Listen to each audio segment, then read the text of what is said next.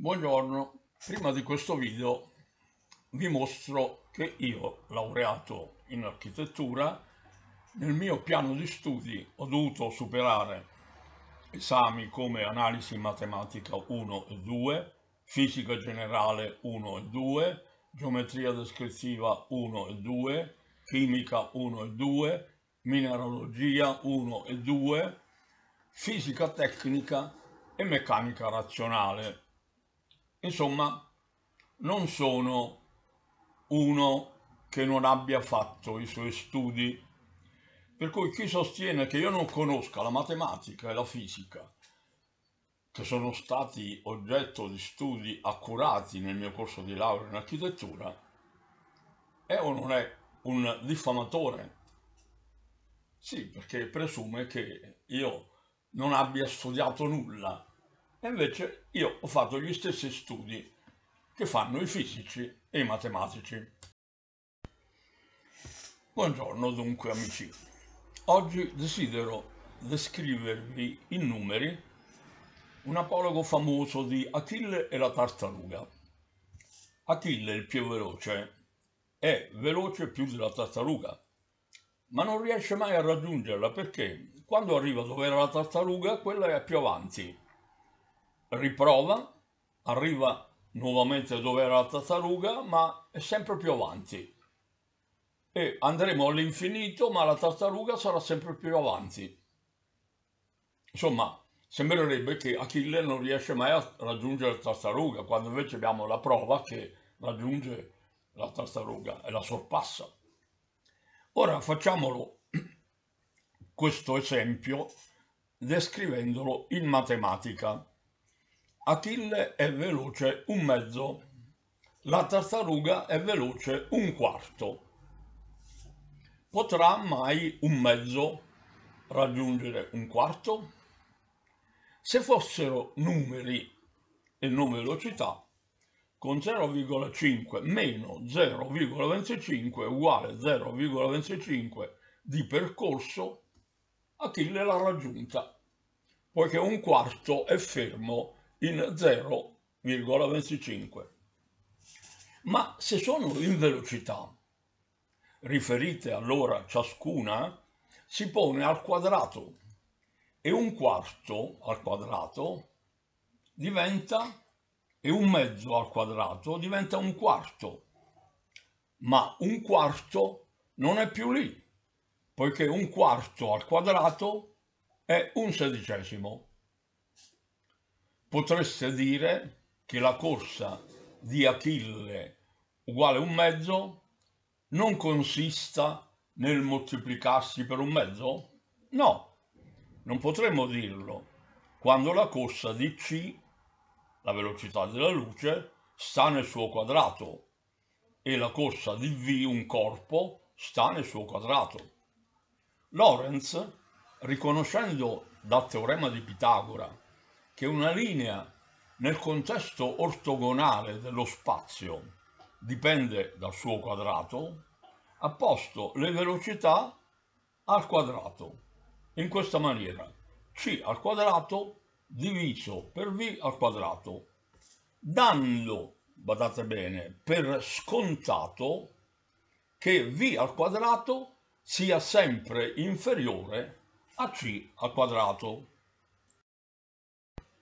rivolgendomi, credo, spero, a persone intelligenti e autonome nel loro giudizio, faccio loro questa domanda. Possibile usare questa supposizione per dimostrare che non è una supposizione? Einstein fa questo e dice che Poiché la velocità della luce è insuperabile, questa è la prova che la velocità della luce è insuperabile. Come a dire, poiché mai Achille raggiungerà una tartaruga che si sposta, Achille non raggiungerà mai e non supererà mai la tartaruga che si sposta è partito da un presupposto e con quel presupposto dimostra il suo stesso presupposto. È una stupidaggine.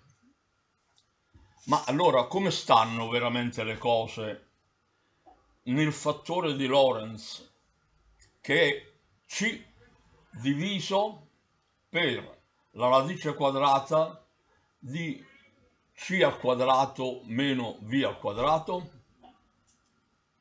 Abbiamo che se la velocità di 299.792.458 metri al quadrato si riduce per esempio a un solo metro quadrato, allora gamma diventa 299 milioni 792.458 diviso per 1, ossia per c fratto c, il che è uguale a 299 milioni 792.458 volte per 1 e abbiamo che la velocità della luce è 299.792.458 volte maggiore di C su C, ossia di 1. Questo dimostra la Lorentz, che se riduci il quadrato di C solo a un metro quadrato, hai che la velocità della luce è 299 milioni di volte più veloce. È evidente che a un infinitesimo di area mancante corrisponderà sempre un infinito. Ma che quest'area mancante non possa essere zero è solo una supposizione che io definisco infelice. Che uno non possa mai arrivare a toccare un muro con un dito perché manca sempre uno spazio divisibile all'infinito tra il dito e il muro. È la stessa cosa, eh? Pensate, il genio di Einstein è caduto in questa trappola, praticamente di Achille e la tartaruga, ma ancora più semplice del mio dito che tenta di toccare il muro, ma non ci riesce mai perché lo spazio tra il dito e il muro è divisibile all'infinito e non si può mai raggiungere l'infinito, figurati se superarlo.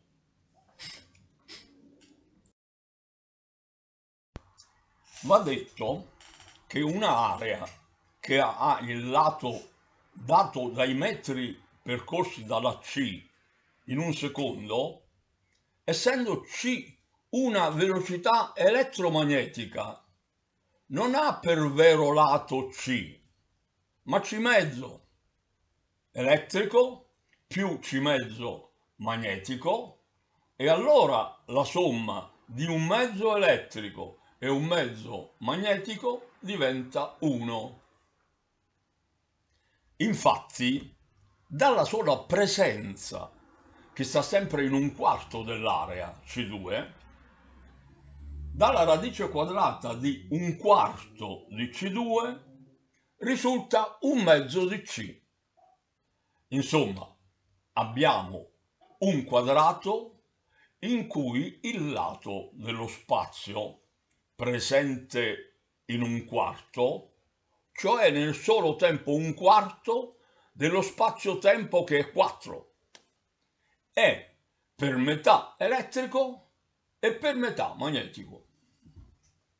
Con ciò basta la velocità di una massa che in un secondo percorra solo la metà del percorso di C per arrivare a coprire il massimo della presenza di un ottavo di tutto il complesso dell'area.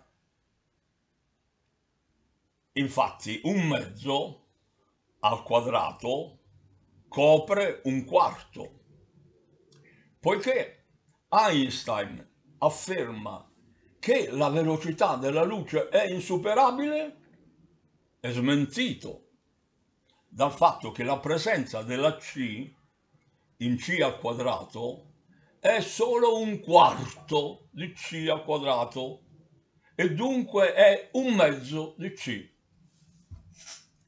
Appena il corpo supera la metà dei metri percorsi dalla C in un secondo, comincia la sua reale escalation, essendo già più veloce della C mezzo, ossia nel solo valore elettrico della C, e avendo invaso il contesto magnetico.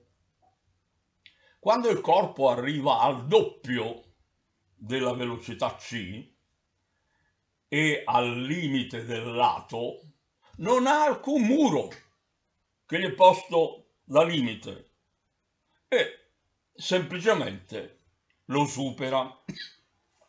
La C2 non è nessun muro invalicabile e in verità, essendo il lato C percorso dall'elettromagnetismo, metà nell'elettrico e metà nel magnetico, l'apparente piano C al quadrato in verità è C al quadrato al quadrato, ossia è C elevato a 4, ossia tutta la sua realtà.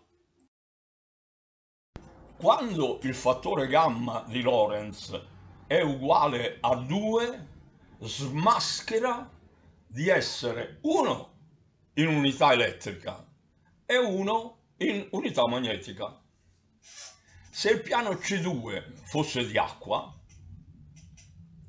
ridotto alla presenza un quarto del tempo, deve velocizzarsi per 4 per poter contenere lo stesso volume in un secondo.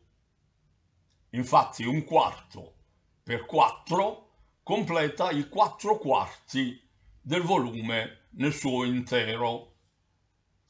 Quando il piano invece è di C elevato a 2, il piano un quarto è ancora espresso in area e il denominatore della gamma di Lorentz lo presenta nel suo lato, che è dato dalla radice quadrata di un quarto. Ed è per quello che si rivela poi ridotto ad un mezzo di C. Invece per l'acqua, la sezione un quarto è quella che è una area e si moltiplica al flusso 4 perché il volume resti unitario, un volume dato da un'area per una linea di flusso. La Lorentz applica il ricorso al lato dell'area della sezione e come risultato ha che il rapporto che ne deriva è puramente lineare e il risultato è la radice quadrata del 4 che è valido per l'acqua e pertanto nella radice di 4 risulta 2. Se riducessimo la sezione a un centesimo, nel caso dell'acqua, la velocità per portare avanti tutto quel flusso in un secondo si deve moltiplicare per 100 nel caso della luce non abbiamo il rapporto area-linea, ma linea su linea, per cui la radice quadrata di 100 è il fattore gamma e risulta 10. Ma è un confronto insulso, fondato sul presupposto arbitrario che una massa non possa superare la C, come se un dito non possa mai arrivare a toccare un muro fermo se la distanza è spinta fino all'irraggiungibile infinitesimo. Invece, per superare la C, di puro riferimento, basta che un corpo arrivi a C mezzi. Avete capito? È incredibile come un genio, come è ritenuto Albert Einstein, e tutti coloro che gli danno corda, eh, perché non è rimasto da solo questo genio, c'ha tanti altri geni, tutti geni, che credono che, poiché lo spazio tra un dito e un muro è divisibile all'infinito, io non posso mai raggiungere l'infinito e di conseguenza non posso mai toccare il muro. È lo stesso ragionamento che è fatto quando invece del muro viene messo a riferimento un sistema invariante come quello della C. Saluto tutti e auguro buona giornata.